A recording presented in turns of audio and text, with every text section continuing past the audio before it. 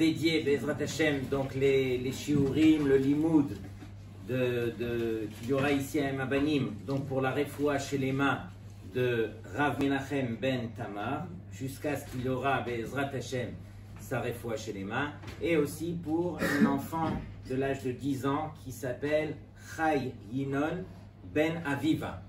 Un enfant qui, bien Inara, à l'âge de 10 ans, imaginez, c'est juste pour nous donner du chizouk, à l'âge de 10 ans, il étudie donc à l'école, mais il est tellement attiré par la Torah que on a vu en lui des possibilités incroyables. Et donc, il fait de la Mishnah, il fait du Humash, il fait de la Gemara, il commence à faire de la Gemara.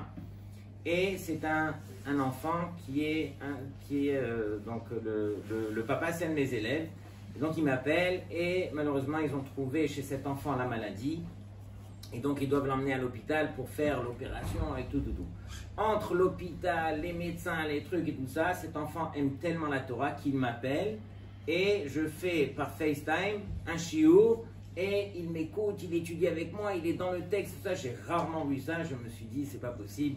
Ça me donne tellement de chizouk de voir ça que voilà, que ça donne du chizouk à tout le monde. Donc il y a des neshamot spéciales qui viennent sur terre et qui étudient la Torah, qui aiment la Torah. Ça vaut la peine de, voilà, de, prier pour sa refoua chez les Hashem.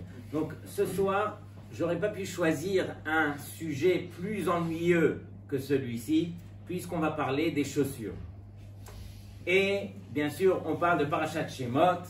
Il y a un rapport direct avec les chaussures. Et je sais très bien que quoi? Que je m'adresse à des messieurs. Pour les messieurs, les chaussures, ça veut presque rien dire. Peut-être que je me trompe. Mais je sais que en tant que marié, alors on a une garde-robe pour madame, pour monsieur, et on a un placard spécial rien que pour les chaussures de madame. Peut-être qu'aujourd'hui, il y a aussi le placard des chaussures des messieurs, mais dans tous les cas, je vais vous parler de l'importance des chaussures et vous allez comprendre que quel est le lien direct qu'on a nous avec l'histoire des chaussures. Donc si j'avais annoncé ce cours par texto, si j'avais donné le titre, c'est évident que personne ne, serait, euh, ne se serait présenté ce soir. Donc c'est la raison pour laquelle on a évité le titre. Mais rappelez-vous, il n'y a pas longtemps, et malheureusement en Israël ça reprend ce soir, que le confinement général reprend. Mais rappelez-vous, quand nous on était en confinement, alors on était à la maison, bloqués, et je me rappelle de combien m'ont envoyé un texto et qui m'ont dit ça fait une semaine, deux semaines, trois semaines que je n'ai pas porté les chaussures. Donc quelque part, voilà, c'est quoi cette histoire de porter les chaussures? Et notre question du cours de ce soir, c'est qu'est-ce qui est mieux? De porter les chaussures ou de ne pas porter les chaussures? Bonne question ou pas? Vous allez voir un petit peu que dans la Torah, depuis Moshe Rabbeinu jusqu'aux chaussures, on peut trouver de quoi dire, ne serait-ce que sur un sujet aussi banal, mais vous allez voir combien on se sent concerné par un sujet pareil, qui est le sujet, encore une fois, des chaussures. Donc on démarre et doucement, doucement, on va rentrer dans le sujet. Moshe Rabbeinu, Ish HaElokim. Moshe Rabbeinu, il a été choisi par Hachem justement pour sauver le clan d'Israël, pour faire cette mission qui est unique depuis cette paracha de Shemot jusqu'à la fin de la Torah, Vezot Habracha, on parle de Moshe Rabbeinu qui va sauver le clan d'Israël. Moshe Rabbeinu, justement, c'est quand la première fois qu'il rencontre Akadosh Baruch Hu, Akadosh Baruch s'adresse à lui, c'est lorsque Moshe Rabbeinu, il a dû quitter, s'enfuir de Mitzraïm, justement où là-bas, il a tué un Égyptien, et il y a eu des deux qui l'ont dénoncé, Datan va et donc il était passible de mort, il s'est enfui à Midian, et c'est là qu'on rencontre Moshe Rabbeinu pour la première fois, où le Midrash nous raconte que Moshe Rabbeinu, il a été faire paître son, son troupeau, et il s'est retrouvé devant une montagne, il lève les yeux, et à ce moment-là, doucement, doucement, il voit quelque chose qui n'en croit pas à ses yeux. Il voit un sné, il voit un buisson ardent qui brûle et qui ne se consume pas. On connaît toute l'histoire. Moshe Rabbeinu, il est intrigué et donc se rapproche. Et c'est là que quoi Que Akadosh Baruch s'adresse à lui pour la première fois en lui disant quoi? Enlève tes chaussures.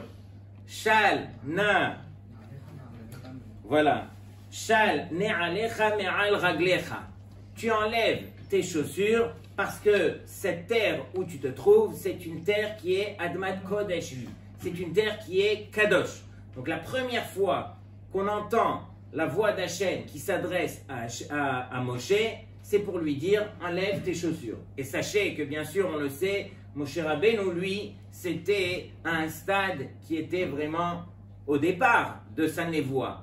Bien plus tard, lorsqu'il montera, lorsqu'il aura le trou de monter au Har Sinai, alors va dire que quoi? Que là, peut-être qu'on aurait dit, c'est à ce moment-là que Hachem lui aurait ordonné d'enlever les chaussures. Mais même à ce stade où il ne s'est pas rapproché encore du Har Sinai, et à ce moment-là, Akadosh Baruch lui dit, écoute, fais attention, c'est un endroit qui est Kadosh, je te demande, première chose, d'enlever tes chaussures.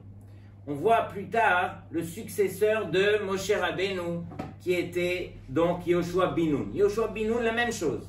Il est arrivé à ramener donc les Béné Israël au travers du Yarden et il arrive dans la ville de Jéricho où cette ville était entourée de murailles et il se demandait comment est-ce qu'il allait rentrer. Et à ce moment-là, il y a un homme qui arrive et qui dit à Yoshua enlève ta chaussure. Il lui dit pas comme un Moshe Rabbeinu enlève tes chaussures, il lui dit enlève ta chaussure. Et pourquoi il lui dit enlève ta chaussure? Parce que justement à ce moment-là, Yoshua, il allait avoir la Shrina, Akadosh Baruch qui allait s'adresser à lui pour la première fois. Et donc, on apprend de là encore une fois où Akadosh Baruch s'adresse à Yehoshua et lui dit enlève ta chaussure parce que dans l'endroit où tu te trouves, c'est un endroit qui est Kadosh. Sache que je ferai des miracles pour les Béné Israël. Vous pourrez rentrer dans la ville de Yericho, la conquérir et ainsi de suite jusqu'à ce que vous allez avoir toute la terre d'Eretz. Donc encore une fois, on voit au début de la névoie, que ce soit pour Moshe Rabbeinu comme pour Yehoshua, dans leur mission, on voit encore une fois que de la même façon. Admat Du fait que c'est une terre qui est kadosh, donc tu enlèves tes chaussures. Donc ici, on se demande c'est quoi le, problème de mettre des chaussures puisque on est ici dans un endroit de Kdusha? C'est quoi le problème d'avoir des chaussures? On dirait que les chaussures font un écran avec la Kdusha. De là, on apprend plusieurs halachot qui seront dans le Shulchan Aruch pour toutes les générations. On apprend beaucoup de halachot, les maasé. Première halacha, on le sait, les Kohanim au Bet Amikdash n'ont pas le droit de porter des chaussures. Pourquoi? Parce qu'au Bet Amikdash, du fait c'est un endroit qui est kadosh, alors on enlève les chaussures. De même, les Kohanim, quand ils font Birkat Kohanim ici au Bet Knesset, aussi, ils enlèvent les chaussures pour bénir le clan Israël. Il y a d'autres halachot aussi qui découlent de cela. Lorsqu'il y a l'oalenu, quelqu'un qui est avel, quelqu'un qui est en deuil, alors on lui demande d'enlever les chaussures. Il ne portera pas des chaussures, en tout cas en cuir. Lorsque, euh, euh, d'une autre façon, il y a le Havel ou bien il y a celui qui est à Tisha qui est en deuil aussi, on lui demande d'enlever les chaussures. On voit une autre halakha dans la Torah au niveau de Khalitza. Khalitza, qu'est-ce qui se passe là-bas? Où finalement, si le frère ne décide pas de se marier avec, avec, euh, avec la, la, femme, et donc la femme, elle, va retirer donc la chaussure du frère qui ne voulait pas se marier avec elle quand elle n'a pas eu d'enfant, et elle va cracher dans cette chaussure. Donc encore une fois, on enlève la chaussure. Qu'est-ce qu'il y a d'aussi grave que de garder les chaussures? Et c'est quoi le problème que d'avoir des chaussures? Donc ici, je vais quand même vous lancer une petite bombe. De la même façon qu'il est interdit de porter des chaussures dans un endroit donc qui est kadosh, alors il y a aussi l'obligation de porter des chaussures dans la vie courante. Je vais vous montrer plusieurs guémarotes ou plusieurs citation où de là on voit qu'il y a une obligation de porter des chaussures. Donc on y va. Donc on va voir un petit peu le contraste. D'un côté, on apprend que interdit de porter des chaussures dans certains endroits qui concernent la kedusha, et d'un autre côté, comme on va voir tout de suite, c'est une obligation de porter les chaussures. Première halacha. Donc, on a l'habitude de faire la bracha tous les matins de She'asali Kol Tzorki. on cherche à savoir que veut dire d'abord Sali Kotsorki. On remercie Hachem qui nous a donné tous les besoins. Tout ce qu'on a besoin sur terre, Akadosh Baruch nous les a accordés. Donc, entre parenthèses, comment est-ce que chacun d'entre nous peut se permettre de faire cette, cette bracha, de remercier Hachem pour tous les besoins, puisque chacun d'entre nous, à l'intérieur, alors forcément on se dit non, je n'ai pas ça, il me manque ça, j'aurais dû avoir ça. Quelque part, il y a encore des choses qui nous manquent. Donc comment est-ce que chaque jour on se permet de dire à Hachem, écoute Hachem, tu m'as accordé tout ce que j'avais besoin, c'est la raison pour laquelle je te remercie par cette bracha. Et donc sur cela, qu'est-ce qu'on Qu'est-ce que la Gemara nous dit? La Gemara nous dit que d'abord cette bracha, elle revient sur les chaussures. On aurait pu imaginer que cette bracha, elle revient sur d'autres choses. Quand je dis à Hachem, je te remercie Hachem de m'avoir accordé tout ce que j'avais besoin, tous mes besoins, alors j'aurais pu imaginer que peut-être ça revient sur les yeux, sur le fait de, parler, de respirer, il y a tellement de choses. Eh bien non, la Gemara nous dit que cette bracha Sali Kol Sorki revient sur les chaussures. Donc on voit que quoi? Qu'il y a une obligation quelque part de porter des chaussures pour pouvoir faire cette bracha de Sali Sorki on sait que à Kippour comme à Tisha B'Av, on ne porte pas les chaussures, alors on saute cette bénédiction. C'est vrai ou pas? On ne fait pas Shara Sali, Kol d'après certains. Et la Gemara nous dit comme ça. Il y a une Gemara dans Shabbat qui dit comme ça. Yimkor Adam korot beto veikne na'alaim. Un homme, s'il n'a pas le choix, il n'a pas de chaussures, alors qu'il vende les murs de sa maison, mais qu'il achète des chaussures. Pourquoi? Parce que tant que tu n'as pas de chaussures, tu n'es pas appelé un homme d'après la Torah. Tu es considéré comme un animal. C'est ça ce qui nous différencie des animaux. On voit que quoi Que un homme, il est obligé de porter des chaussures justement pour aller à l'extérieur, pour pouvoir marcher. Bien sûr que quoi Bien sûr que c'est quelque chose qui est obligatoire. On ne va pas marcher sur, euh, sur euh, les pierres, sur la boue, sur tous les... Donc, on va dire que quoi C'est quelque chose de pratique. Mais en dehors de, tout cela, c'est une obligation que de porter les chaussures. Pourquoi cela? Il y a une Gemara dans Masechet Psachim. La Gemara dit comme ça, regardez bien. Shiv'a Menudin. Il y en a sept qui sont Menudin qu'on va mettre en de côté, qu'on va mettre en idouille. Elouhen, voici les sept qu'on met en idouille. Mais regardez bien comment ça va en crescendo. Le premier, Yehudi chez Enlo Isha, un homme qui n'est pas encore marié. On le met en idouille dans le cas où il ne veut pas se marier. Je fais référence à personne. Lo Isha Venlo Banim. Il a une femme, mais il n'a pas encore d'enfant. Quelque part, il ne veut pas avoir d'enfant, celui-là aussi sera mis en idouille. Ou Banim Ven Megadela Torah. Celui qui a des enfants, mais qui ne les fait pas grandir, au Talmud Torah, qui ne leur donne pas une éducation, juive comme il se doit. Ou. Celui qui ne porte pas les tfilin, lui aussi sera mis en idouille. Sixième, ou mezouza bepitro, celui qui dit je ne mets pas de mezouza. Septième, regardez bien, vehamonea min alim meraglav. Et celui qui s'empêche de porter des chaussures dans ses pieds. Regardez bien, on aurait imaginé le soulam, l'échelle, aller en crescendo. On a parlé de celui qui ne veut pas se marier, celui qui ne veut pas avoir des enfants, celui qui a des enfants qui ne les emmène pas au Talmud Torah, celui qui ne met pas les tfilines, celui qui ne met pas le talit. Et on aurait imaginé maintenant dire celui qui ne mange pas qui pour, celui qui mange pendant qui pour. Imaginez un truc euh, grave. Mais là, la Gemara, elle termine en disant, mais non, celui qui s'empêche de mettre des chaussures. Apparemment, le fait de ne pas mettre de chaussures, c'est quelque chose de très grave. Donc encore une fois, de là une preuve, d'où l'obligation de porter des chaussures. Le Abu Dharam, qui est cité dans le Shulchan Aruch, il explique cette bracha de Sali Koltsorki. Il dit comment se fait-il que ça revienne directement sur les chaussures? Encore une fois, on aurait pu dire que ça revient sur beaucoup de membres qui sont peut-être beaucoup plus importants que les pieds, et donc sur cela on aurait pu faire la bracha. Et donc le Abu Dharan, il conclut en disant que non, les chaussures c'est tellement important Parce que ça me permet à moi de sortir à l'extérieur. Et de sortir à l'extérieur, c'est énorme. On sait que celui qui ne peut pas sortir à l'extérieur ne pourra pas vivre, ne pourra pas aller chercher à manger, ne pourra pas travailler, ne pourra pas grandir. Et donc c'est la raison pour laquelle je remercie Hachem d'avoir mis mes chaussures, mais derrière le fait de mettre les chaussures, ça me permet d'aller à l'extérieur et de vivre dans le monde, dans le monde pardon, extérieur. C'est la raison pour laquelle on fait cette bracha sur les chaussures d'Afka.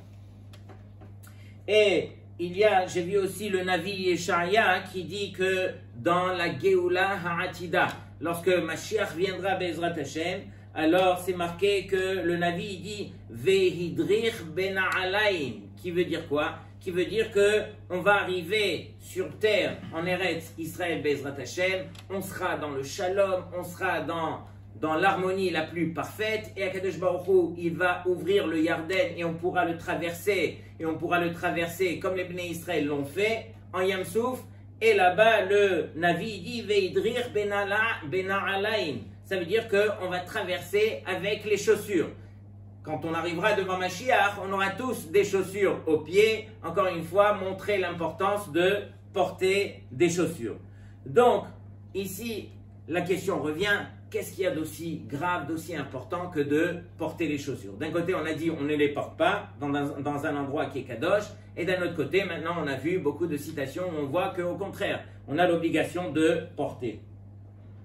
Alors, première réponse, je vous donne celle du Shla Kadosh. Le Shla Kadosh, il dit que de porter des chaussures, c'est montrer, l'homme montre par cela qu'il est cholette. C'est quoi qui est cholette il, est, il gouverne sur sa personne, il gouverne un petit peu sur ce qu'il va représenter. Lorsque je vais à l'extérieur, alors je porte mes chaussures justement pour montrer que c'est la chose qui me donne de la force. Je me rappelle d'une image, d'une caricature qui nous avait choqué à l'époque. Jusqu'à maintenant, j'ai encore cette image, je l'ai revue juste pour vérifier si, c'était vraiment ça que j'avais en tête. À l'époque, vous vous rappelez que le président des États-Unis, Obama, pour ceux qui sont un peu trop jeunes, peut-être qu'ils ne se rappellent pas, mais Obama, tout le monde s'en rappelle. Et donc, Obama, lui, il ils ont fait une photo caricature pour montrer un petit peu, il, on voit Obama sur son bureau, et il est, il est allongé donc sur son bureau, et il a ses chaussures qui sont croisées sur son bureau, et il est en train de parler à Bibi Netanyahu, comme ça de côté. Juste pour dire, écoute, moi je suis avec mes chaussures, je gouverne sur toi, quelque part je t'écrase, je t'écrabouille, c'est pas toi qui vas venir m'embêter avec tes, tes, histoires, laisse-moi gouverner le monde, c'est pas Israël qui va venir maintenant se mêler de, de, toutes les grandes choses. Donc encore une fois, l'homme, il doit porter des chaussures, justement, contrairement aux animaux, pour montrer qu'il gouverne et le Icar de ce que je suis en train de dire maintenant, c'est que l'homme doit apprendre à gouverner d'abord sur lui-même. Avant de gouverner sur les autres, comme le, comme le fait Obama, d'abord on apprend à gouverner sa propre personne. C'est facile de gouverner les autres, mais gouverner sa propre personne, c'est ça le Icar. Et Akadosh Baruch Hu nous dit, porte les chaussures. Ça veut dire sois à la hauteur de comprendre que ces chaussures vont te donner une image, vont te donner une ligne conductrice qui va te permettre de réaliser encore une fois combien tu dois être cholette sur ta personne, sur tes mauvaises midotes, sur les problèmes qui te concernent au quotidien pour que justement tu arrives à surmonter cela et que tu deviennes un autre. C'est une des raisons pour lesquelles on fait la bracha de Sherasani Kotsorki. Et entre nous, je réfléchissais aussi aujourd'hui, c'est une des raisons aussi pourquoi les Américains, ils ont tellement eu de succès avec leur marque Nike, où on dit sous la marque, qu'est-ce qu'on marque? Just do it. Just do it veut dire quoi? Rien que fais-le. Mets tes chaussures, va dehors, va travailler. Mais nous, la Torah, on rajoute quelque, quelque chose sur Just do it. C'est fais-le pour toi, fais-le contre les mauvaises choses qui sont à l'intérieur de toi, quand tu vas sortir, quand tu vas travailler, quand tu vas faire toutes ces belles choses qui sont obligatoires, alors just do it pour Akadosh Baruch c'est-à-dire essaye d'être cholette, de gouverner d'abord sur ta personne. Alors, ça c'est la première explication. Et donc, on revient à notre question, pourquoi est-ce que Moshe Rabbeinu, on lui a demandé d'enlever ses chaussures? Normalement, il vient maintenant pourquoi? Pour essayer de gouverner, pour essayer de prendre le clan d'Israël et les faire rentrer en, euh, les faire sortir d'Égypte, les rentrer en Eretz Israël, leur donner la Torah. C'est pas juste qu'il aurait dû mettre ses chaussures. Qu'est-ce qu'il aurait dû faire? Il aurait dû mettre même des bottes. Il aurait dû faire le, la, double action. Et donc ici, qu'est-ce que, quelle est l'image que la Torah veut nous dire? Enlève tes chaussures, toi, Moshe Rabbeinu. Alors il faut réaliser encore une fois que quand c'est le roi qui te demande quelque chose, et que tu vas t'adresser au roi, et que tu vas le faire pour le roi, alors devant le roi, on ne met pas de chaussures. Parce qu'on n'a pas besoin de gouverner, on n'a pas besoin de s'affirmer, on vient parce que c'est le roi qui nous a envoyés. Mais quand moi je vais au quotidien sortir, je vais aller pour travailler, je vais aller quelque part pour gouverner, alors là je dois porter mes chaussures justement pour arriver à faire ces choses-là. Donc ça c'est la différence qu'il y a entre celui qui le fait pour parce que c'est le roi qui l'envoie ou bien c'est la différence parce que c'est lui-même qui va de lui-même. On raconte aussi au nom du, du Baal Shem Tov, le Baal Shem Tov, il dit beaucoup de, livres ont été écrits sur le fléau qui s'appelle la gava. La gava, c'est l'orgueil. Et Dieu seul sait combien l'orgueil, alors c'est une des racines qui ne permet pas à l'homme de pouvoir grandir. Combien la gava, l'orgueil, elle rabaisse l'homme. L'homme, il veut se croire, il veut s'imaginer et tout.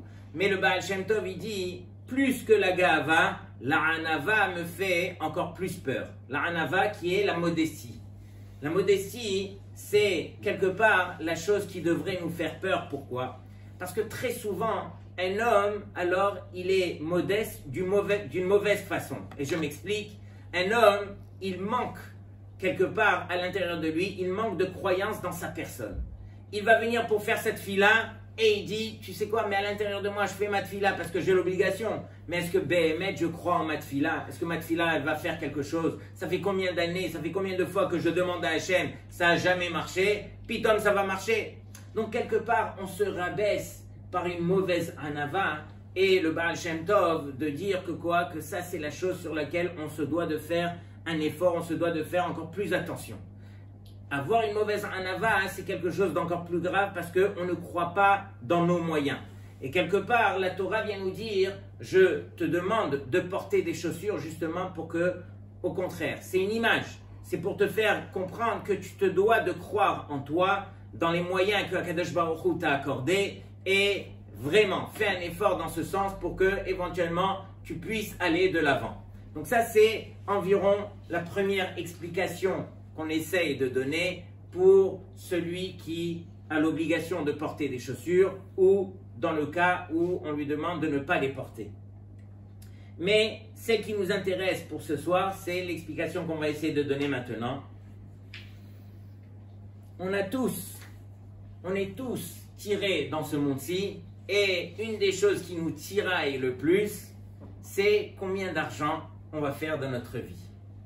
On est tous motivés, encore une fois, par le travail. Le travail, il prend de la place, il a une place énorme, que ce soit le travail, que ce soit le diplôme, que ce soit la réussite. Toutes ces belles choses font partie de notre vie. Je ne suis pas en train de citer ces choses-là pour les dénigrer, on a besoin de ces choses-là. Ces choses-là ont une place qui est importante dans notre vie.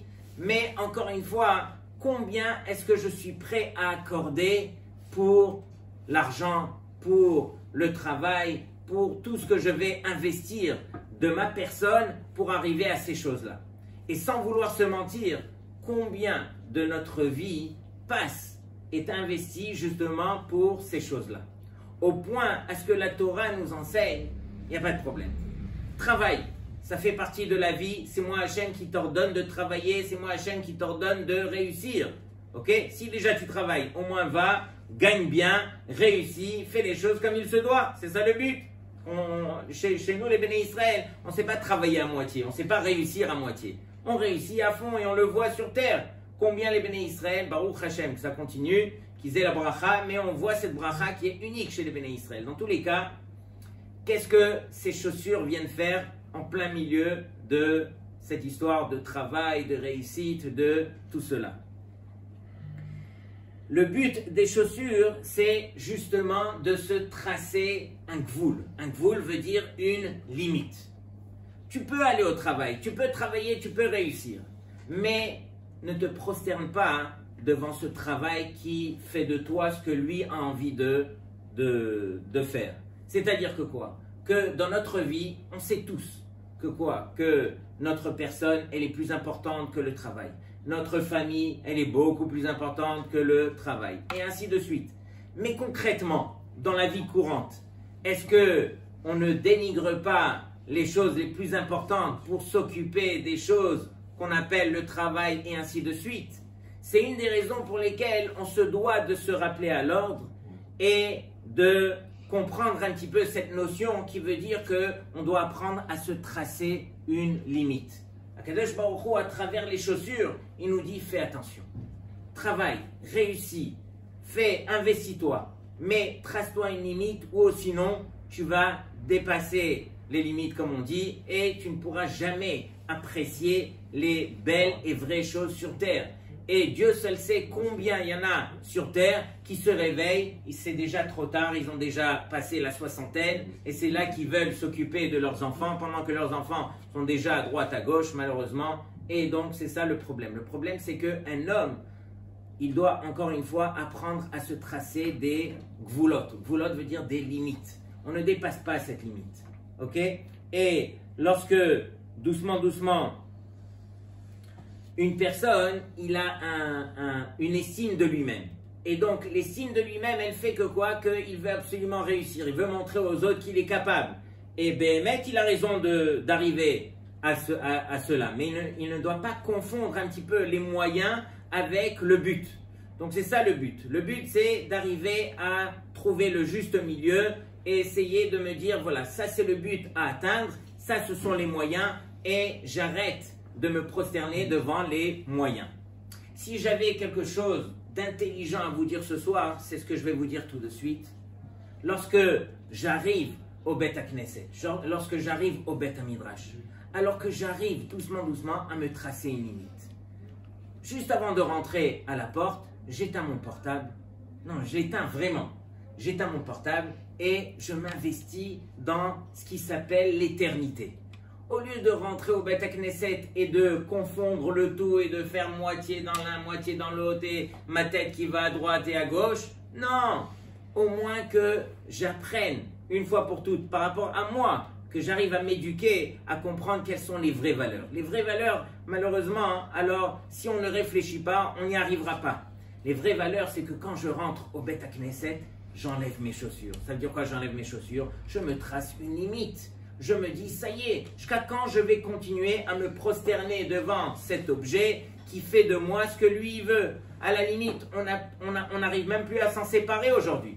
Je vois, c'est complètement fou. Il y a des fois, je donne un cours, je lève les yeux et ils sont tous comme ça, avec leur, euh, avec leur truc. Ça, c'était avant. Au jour d'aujourd'hui, ça y est. Depuis qu'on a eu le Covid, c'est beaucoup plus simple. Il n'y a plus personne qui a son, qui a son portable. L'idée, elle est passée. Et Baruch Hashem, que ça soit comme ça. Mais au moins, on n'a pas besoin de Covid pour se rappeler à l'ordre.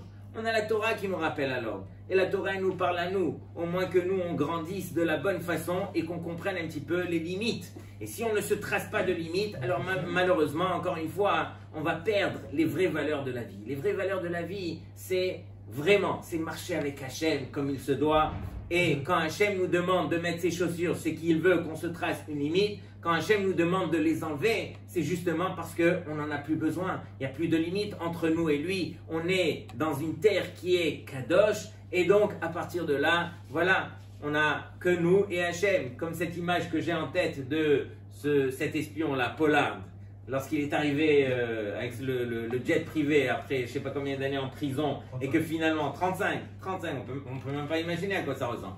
Et attends, et qu'est-ce qu'il a fait de grave? Il a parlé des États-Unis à Israël sur des choses que les deux pays étaient d'accord. les informations qu'il a données, c'était.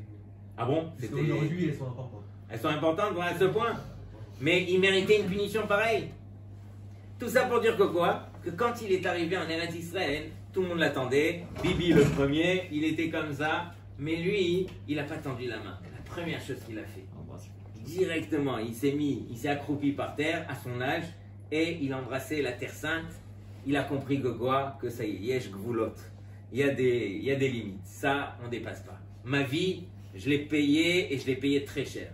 Mais arriver au monde de la vérité, j'arrive en Eretz Israël, c'est pas Bibi qui va m'impressionner, la terre d'Eretz Israël. C'est vrai ou pas Quelque part, euh, voilà, on se doit de réfléchir. Donc voilà quelqu'un qui, qui réfléchit. Mais encore une fois, je vais peut-être vous faire pleurer. J'ai vu une histoire, une histoire terrible. Euh, euh, c'est pendant la, la, Deuxième Guerre mondiale, bien sûr, pendant la Shoah. Une femme, qu'on raconte, c'est un rab qui raconte cette histoire.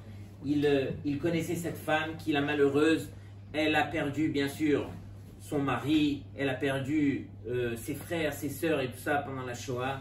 Et elle s'enfuyait. Et voici que quoi Qu'elle s'est déguisée. Il lui restait qu'un seul enfant. Et pour montrer aux soldats nazis que voilà, c'était pas une juive, alors elle s'était déguisée et elle a mis son fils dans un des sacs. Elle avait deux sacs avec elle et elle a mis de la nourriture dans le deuxième. Et voici qu'elle est montée dans le train et de la façon dont elle était habillée et on n'entendait pas l'enfant qui était dans le, dans le sac, les soldats n'ont rien dit. Mais le plus le train avançait et plus les soldats rentraient et sortaient, elle commençait à avoir très peur. Elle n'arrivait plus à camoufler l'enfant qui allait commencer à se mettre à pleurer. Et là, à partir de là, elle se dit, ok, prochaine sortie, je m'enfuis. Qu'est-ce qu'elle fait? Elle prend la nourriture d'un sac, elle le met dans le sac avec le bébé, et elle prend un seul sac, et voici qu'elle trace, elle s'enfuit du train, et elle commence à courir, à courir, à courir, jusqu'à ce qu'elle a plus de souffle. Elle arrive en pleine forêt, et là, elle ouvre vite le sac pour faire sortir l'enfant. Et voici que quoi? Que l'enfant, elle l'a laissé dans le train, elle s'est trompée de sac. Et la malheureuse, elle est sortie avec la nourriture. Et l'enfant, il est resté avec les nazis et marché Et donc, quelque part, c'est un machal pour dire que quoi Que nous aussi, on porte deux sacs sur terre. Et des fois, c'est le sac de la parnassa et c'est le sac de la famille mais malheureusement, l'homme, il est ce qu'il est, et très souvent, il a envie de porter le sac le plus léger. Donc, on va vers la facilité, et malheureusement, on prend souvent ce sac de la parnassa plus que le sac de la famille. Le sac de la famille, je peux vous dire, il faut retrousser les manches, trouver les solutions, s'occuper, suer. C'est vrai, Simon, ou pas Et donc, tout ça pour dire que quoi? Qu'on se doit de se tracer des limites. On n'a pas besoin d'arriver à des histoires pareilles aussi catastrophiques. Mais déjà dans notre quotidien, qu'on se trace une limite et qu'on sache faire la part des choses. Je pense que c'est ça un petit peu le chiour de ce soir, se faire la part des choses, trouver l'équilibre. Les chaussures nous rappellent à l'ordre, les chaussures nous rappellent que quoi? Que on se doit de mettre une limite. Lorsque on est dans la Kedusha, on est dans la Kedusha. Lorsqu'on est au travail, on est au travail. Mais qu'on ne confonde pas les deux et qu'on ne s'imagine pas que notre vie, elle est jumelée de ces deux choses en même temps. Parce que, en fin de compte, on n'a ni ça ni ça. Et on se doit de se construire au niveau Kedusha, au niveau judaïsme, au niveau de notre personne. Qu'on soit cholette sur notre personne, c'est ce qu'on voulait dire au départ. Et qu'on sache faire la part des choses entre ce monde-ci est le vrai monde, le monde des valeurs, le monde de la famille, le monde des, choses qui nous concernent à nous. Est-ce que j'ai terminé? J'ai plus ou moins terminé. J'aurais voulu mieux le composer, mieux le, travailler, mais entre hier soir et aujourd'hui, voilà, il y a eu beaucoup de choses et d'autant plus que je devais m'occuper de cet enfant-là que je vous ai dit. Donc dans tous les cas, c'était l'idée, vous l'avez bien comprise, donc, tout ce qu'on rêve de faire ici à Emma et encore une fois, je le dis comme je l'ai dit hier, vous êtes les ambassadeurs de ce beau projet. Le, le, un des donateurs de ce projet euh, euh, m'a dit au départ, il m'a dit, est-ce que tu veux faire un projet, mais un projet les Shem Dès que j'ai entendu ça, j'ai pris peur, les Shem je ne sais même pas à quoi ça ressemble, je ne sais même pas si j'y arriverai. Mais dans tous les cas, je lui ai fait un grand sourire, je ne lui ai pas dit oui, mais j'ai senti que lui faisait les Shem Shamaim. Et comme je vous ai dit hier, quand on a commencé le Kol les rêves ce lundi, il y avait plus d'une trentaine de jeunes. J'ai dit sûrement que lui, il a fait les Shem Shamaim. J'espère y arriver moi aussi. J'espère le rattraper. Mais en tous les cas, voilà. Vous êtes les ambassadeurs de ce beau projet. Faites-en profiter à d'autres autour de vous pour que Bezrat Hashem, on apprenne tous ensemble à faire la part des choses et qu'on puisse choisir les choses les plus importantes dans notre vie. Ok? Donc voilà pour aujourd'hui, Baruch Hashem. Donc euh, vous avez encore 10 minutes, faites un petit limoud, ce que vous voulez, tout ça. On commencera Arvi. Ah oui, il y a des, des brachot et tout ça. Est-ce qu'il y, a, il y a des questions d'abord? En ce qui concerne le collège, en ce qui concerne ce qui a été dit ce soir, est-ce qu'il y a des questions? Moi perso, j'ai plus de place sur ma feuille. Hein. Venir, Ah ouais, ça On te rajoutera une autre feuille et encore une feuille. Altidagou, il y, a pas, il y a toujours de la place dans le cœur et surtout pour la Torah. Allez faire alors des